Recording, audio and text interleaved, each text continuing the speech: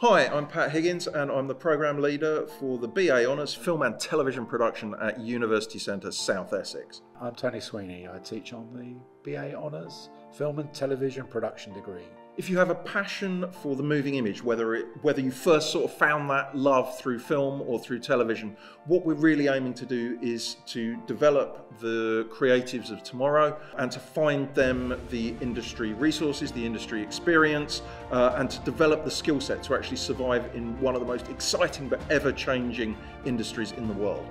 What we give you is not only career opportunities, but an understanding of how we got where we are and maybe where we're going in the future. If you're ultimately headed for a career in industry, but you're just completing A levels or a level three qualification and you're looking for your next step, what we're looking for is that spark, that engagement, that enthusiasm with the subject. We've got a very inclusive entry policy, so if you're strong on portfolio but maybe have some areas of academic that you might need to tighten up a little bit, we'd still love to talk to you.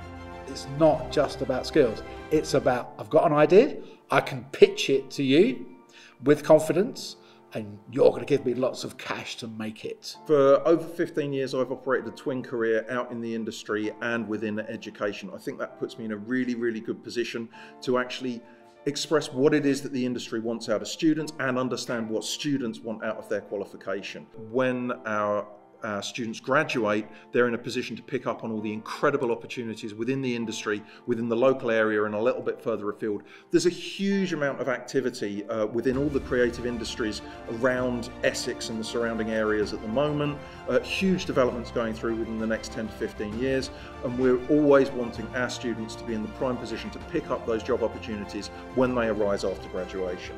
What's the industry going to be like? What is the context for the next five to ten years. And we won't be letting you make things just for you and your mates.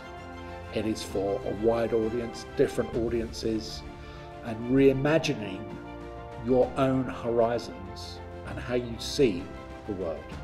One of my favourite things about being the program leader for this course is seeing creatives join us and really find their feet and discover their specialism. When you see a, uh, an undergraduate who is developing as, say, a screenwriter or as a cinematographer, and you see them reach each new step, on the way through their qualification. That's a genuinely incredible and incredibly gratifying feeling. When they go out into the industry and get back in touch in a couple of years going, hey, look what I've done now, holding an award or, or sometimes a very impressive award, that is one of the best feelings on earth.